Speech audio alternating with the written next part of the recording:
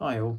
Um, I made a mistake. When I put the trumpeter um, loader's machine gun rail on, I just kept looking at the pictures. It's just too big. I don't know why. I've measured on the trumpeter one, and it just all seems a lot bigger, but the distance from here to the edge is the same, and the diameter of the hole is the same, and from here to here is the same. it's just bigger. Um, and if you look at any reference pictures, you'll see that it's actually very close up to the edge like that. So what I did was, um, I Frankensteined the Heng Long horseshoe. I sanded it right down flat, so I got rid of its detail. I then took the middle section that fell apart out of this anyway, when it split in two. I don't know why I did that. Um, sanded it right down flat, so it was the same height as the detail that was on the uh, Long one, so I could fit the machine gun from Trumpeter, is basically why I did it, because it's got a different hole on the Heng Long one. Um, and then put it together. So it looks like that now. And that's much better, much more pleasing. I thought I'd just quickly do this video and upload it in case someone's following the build and following along and building it as well. Don't use the trumpeter one. It doesn't work, it's too big.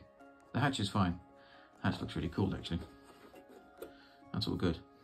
Um, but don't use machine gunner's uh, loader's hatch um, machine gun ring because it's too big.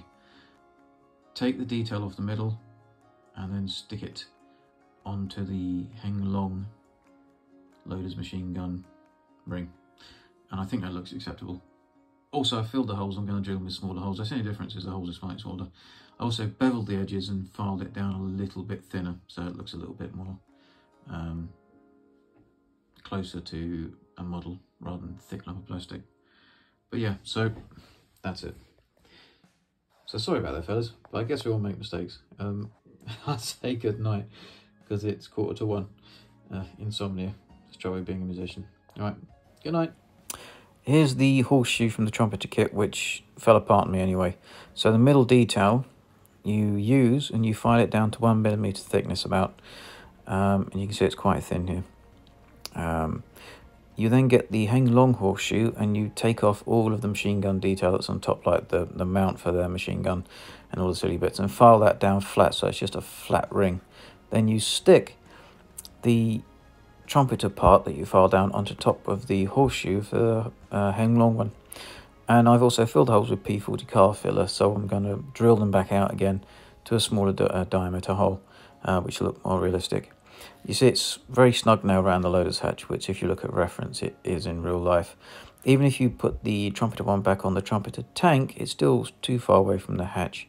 It's strange. It's, well, I guess it's just trumpeter, isn't it? I have some foibles as well. Thanks.